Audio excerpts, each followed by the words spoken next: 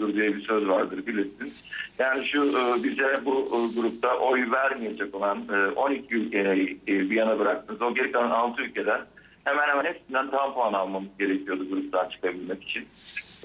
Üstüne üstlük bir de şunu söylemek lazım tabii. Hem de bu bizim aleyhimize bir durumdu. İlk turda başımıza bu geliyordu.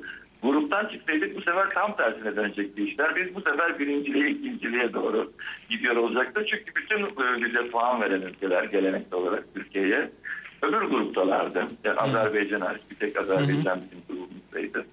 E, bütün ülkeler bu sefer de biz buraya e, tam tersine e, Peki, o- şey, televizyon partiyi olarak dönecek. Şöyle şöyle söyleyebilir miyiz? Kötü zar attınız yani bir yandan. Ee, Hem de- hani hem de üzerinize yani düşeni yaptınız ama şans faktörü e, kötüydü. Yani, Peki.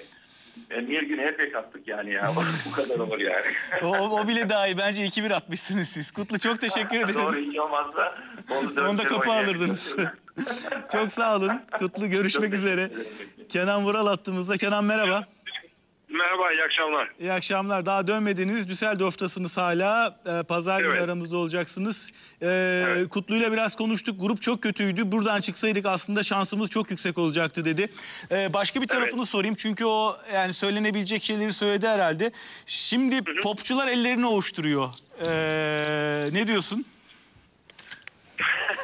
Ya ne diyeyim aslında çok fazla söylenecek bir şey yok bu duruma. Ee, yani biz her zaman söylediklerimizle aslında çok açık olmaya özen gösterdik ve e, bu konuda yaptığımız yorumların her biri de aslında oraya ya da başka bir tarafa çekilecek e, şeyler değildi. Dolayısıyla yani onun doğru e, anlaşılmış olması e, tabii ki bizi sevindirecektir ve e, aslında o hissiyattan da e, sıyrılacaklardır diye düşünüyorum. Peki e, biraz güveninizle ilgili sorun oluşturacak mı bu sonuç? Biraz güveniniz sarsılacak mı kendinize, müziğinize? Ee, yok yok bizim kendimize güvenimiz sarsılmaz hiçbir zaman sarsılmaz çünkü biz e, ne yaptığını iyi bilen insanlarız. Ee, herhangi bir şekilde bu durumun olumlu ya da olumsuz ben aslında başından beri bizim kariyerimizi belki en fazla bir yıldan fazla etkileyeceğini hiçbir zaman düşünmedim. Ee, çünkü tarihinde de bunun e, başarılar yaşayan gruplarda ya da başarısızlıklar yaşayan gruplarda aynı şeyi gözlemliyoruz. Evet. Ee, hani bu bizi ne kadar etkiler? Ee, belki bundan sonra çıkaracağımız e, Eylül ya da Ekim gibi çıkaracağımız albümü birazcık daha e, ittirmemizi icap ettirir. Ee, yani kendi haline bırakmak yerine belki biraz daha promote etmek gerekebilir. İnsanlara tekrar e, bunu hatırlatmak gerekebilir ama e, bizim içimizde bir güven sorunu asla teşkil etmeyecek. Evet yani 14 yıllık bir grup bir yarışma sonucu e, ne yeni baştan yaratılır parlar ne de ortadan kalkar Tabii, tabii. yıkılır. Evet. E, Tabii tabii yani hani bundan önce zaten biz vardık. Hani bu yarışmayla meşhur olan bir grup e, olmadık. Biz meşhur olduğu ya da iyi olduğumuz için buraya yollandık. Dolayısıyla hani biz bunun bilincindeyiz ve e, söylenenler yani aleyhli söylenenler de e, bizi çok etkilemeyecektir diye düşünüyorum. Kenan Vural çok teşekkürler. Kolay gelsin. Evet Murat Meriç e, bu sonuçlar yoktu çok zamandır. Evet, çok yani uzun zamandır 5-6 senedir bakıyorum ben. Sertab'ın birinciliğinden bu yana bir kere Gülseren 13. bir kere Sibel Tüzün 11. olmuş ama 4, 7, 4, 2 falan diye gidiyormuşuz. Tabii. Ya bu tamamen şey mi peki yani o sözünü ettikleri grubun kendi iç dinamiğiyle matematiğiyle ilgili bir şey mi yoksa müziğin de payı var mı sence? Ee, onun çok büyük etkisi vardır tabii. Ee, çünkü belli artık televizyonda politik durumların döndüğü en başından beri belliydi. Ee, bu son dönemde iyice e, abartıldı durum. Ama elbette müziğin de etkisi var. Yani çok iyi bir şarkıyla, çok iyi bir şovla gittiğimiz zaman e, o gruptan e, böyle bir sonuç almamız imkansız gibiydi. Çünkü e, şarkılar çok kötüydü bir kere. E, bizim şarkımız da dahil olmak üzere vasatın altındaydı neredeyse. E, ama bütün o grup içerisinde e, Live It Up e, biraz daha iyi kalıyordu.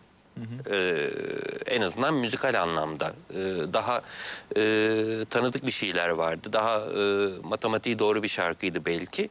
Ama e, galiba müzikten öte politikanın etkisi oldu bu sefer. Şimdi bile bile lades bu bir yandan da. Yani e, bu ülkelerin birbirlerine duydukları yani halkların birbirlerine duydukları sempati ya da antipati bu işi belirliyor. Ona rağmen de bu yarışma böyle yapılmaya devam ediliyor.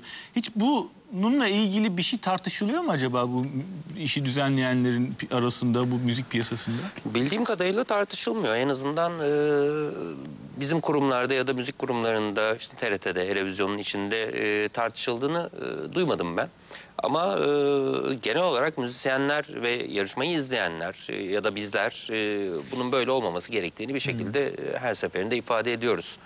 E, aslında sistem bir taraftan çok çarpık, her taraftan çok çarpık. Çünkü e, TRT'nin atama yoluyla şarkı göndermesi, e, orada e, iki ayrı yarı final yapılması, e, oyların e, bir şekilde e, SMS'lerle belirlenmesi, e, pek çok etken var.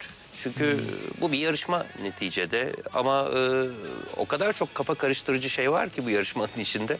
Hani ben bile e, vakıf olamıyorum o kadar izlediğim halde. Hani e, şeyi soruyordum mesela o gün e, bu grupta sadece bize bu gruba katılan ülkeler mi oy verecek? Yani Almanya'dan oy alamayacak mıyız? Hollanda'dan oy alamayacak mıyız? Alamadık Ee, yarı finalde yarışan. Evet. bu sonuç elde. Alamayacakmışız. Ee, Peki- Dolayısıyla çok düştü şansımız. Ee, ş- e, hemen daha yarışma gecesi e, popçular az önce Kenan'a söylediğim gibi işte oh olsun diyene kadar gidiyor işler. Ee, bu pop rock dengesinde bir değişikliğe yol açar mı ne dersin? Ya elbette yol açacaktır. Önümüzdeki yıl TRT muhtemelen bir popçu gönderecek. Ee, bu kadar çok tepki aldığı için. Ee, yani en başından beri pop rock e, tartışması hep var zaten. Hem dinleyicisi hem yapanı arasında.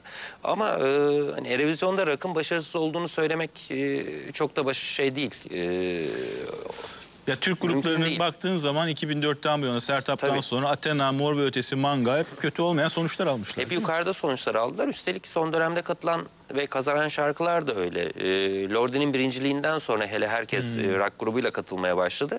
Ki Türkiye bunu çok daha yıllar önce yapmıştı. Ee, Mazhar Fuat Özkan bir pop rock grubuydu. Klips ve onların klipsi o dönemin en sert gruplarından birisiydi 1986'da ki Türkiye'nin en iyi derecesi o güne kadar ki odur 1986'da 9. olmuştu. İlk ona giren şarkıydı. İlk şarkıydı. Ee, ki Sertab Erener'in e, şarkısının bestecisi Demir Demirkan Pentagram'ın kurucusu. Ee, bir rock şarkı değil belki ama e, rock kaynağından gelen bir şarkı. Neticede e, hani pop rock tartışmasına dönüştürmemek lazım bunu. Evet. Ama bu yıl e, genel olarak baktığımızda rock'ın geri planda kaldığını görüyoruz. Bir tek bizimki, bizim yarıştığımız e, yarı finalde bir tek bizimki e, rock şarkıydı. Tam anlamıyla 80'ler rock'n'roll hatta e, bayağı rock'n'roll bir şarkıydı. Bir de Yunanistan'ın şarkısı rock gibi başladı. Sonra hip hop'u falan da katmışlar. Onlar böyle ortaya karışık e, bir şey yapmışlar. E, bir de o vardı galiba böyle rock diyebileceğimiz. Diğer gruplarda da öyle. E, Evet. diğer katılan şarkılarda rock biraz geri plana çekilmiş durumda televizyonda. Pop'la biraz daha şansımız olabilir. Ama her halükarda 2011 yılının Eurovizyonu hızla unutmak isteyeceğimiz yıllardan biri olacak. Evet, Ve Olan kesinlikle yüksek ama- oldu. Evet kesinlikle yani yüksek sadakate suç bulmamak gerekiyor hiçbir şekilde. Çünkü e, gittiler yapabileceklerinin en iyisini Yaptılar. yaptılar ve geldiler. Evet. evet bir sürü problem vardı. Ee, Bence kostüm çok kötüydü, şov kötüydü. Şov yoktu e, hatta arkadan. e, Finale saklıyorlardı herhalde? Evet belki de. Ama e, ne yapalım yani önümüzdeki maçlara bakmak gerekiyor. Aynen öyle. Murat Meriç çok teşekkür ederim. çok sağ teşekkür ederim. Her şeyin sonuna geldik. Pazartesi yine birlikte olacağız.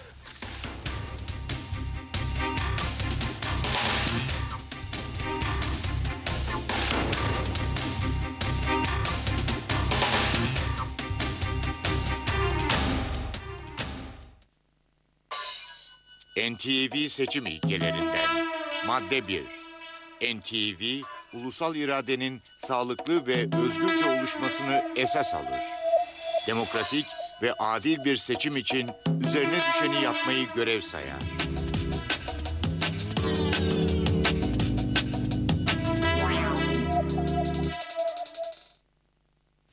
Bu akşam Çiğdem ne konuşuyor? Partilerin seçim kampanyalarını Tuğrul Er Yılmaz, Markar Esayan, İsmail Küçükkaya, Tufan Türenç ve Salih Tuna ile tartışıyor. Doğrudan Siyaset 11'de NTV'de.